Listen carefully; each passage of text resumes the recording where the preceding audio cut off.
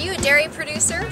Or do you grow grapes, nuts, fruits, or vegetables? We have it all with American Vineyard, Pacific Nut Producer, California Fresh Fruit, California Dairy, and Vegetable West magazines.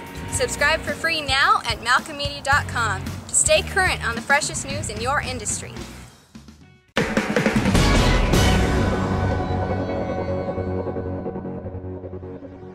Hello, I'm Matthew Malcolm with American Vineyard Magazine, reporting to you from the annual Grape, Nut, and Tree Fruit Expo at the Big Fresno Fairgrounds. Today we had a great lineup of speakers helping growers improve their vineyard management practices.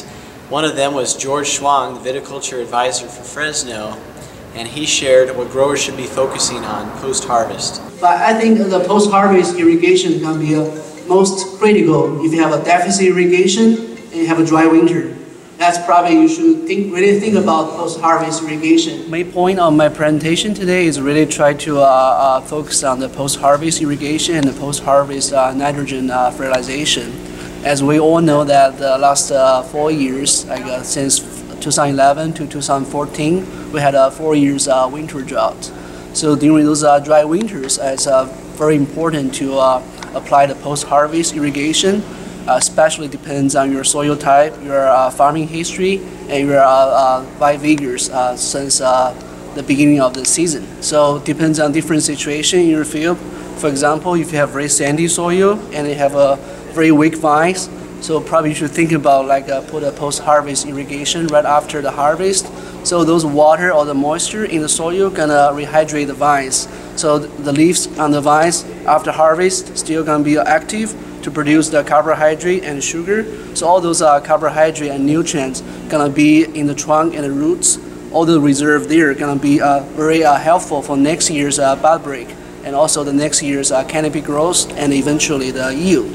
So it will be very important to have very active leaves after harvest to have all those um, nutrient and carbohydrate for next year. So uh, if uh, growers are really struggling for last four years winter drought, and have, for example, you have a low canopy and have a low yield, so probably should think about the post-harvest irrigation this year.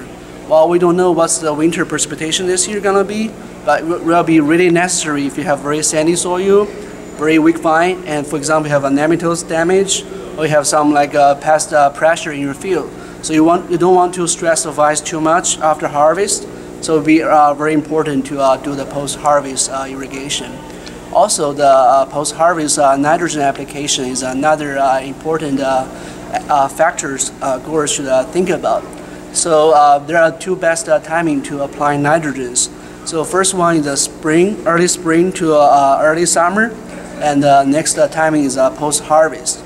So just double check your uh, farming history, your fertilizer history, your petiole samples, especially during the bloom, to uh, compare each year to see uh, what's the level of uh, nitrogen you have right now for your field. Then you can decide uh, how much nitrogen and the timing to apply.